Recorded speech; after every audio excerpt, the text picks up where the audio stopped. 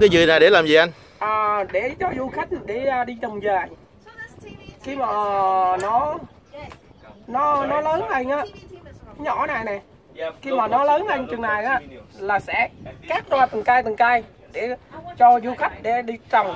Trồng ở đâu? Trồng ở cẩm thanh sông bảy này. Rồi. chút này là mình sẽ vô đấy cái vùng đất nhỏ này mình sẽ trồng. Có nghĩa là tour du lịch trồng dừa dạ. Đúng không? rồi.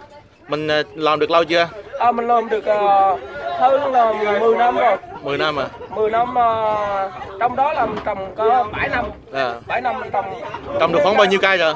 Ờ, nếu mà phát triển là bữa nay cũng hơi bị nhiều rồi đấy. Cũng là cũng được gần trăm mấy cây. À. Khi mà mình trồng đó là một ờ, đợt khách trồng đó là phải trăm đến năm trăm rưỡi cây. Rồi mà nó còn sống sót thì cỡ còn 60 cây lên. Rồi rồi cảm ơn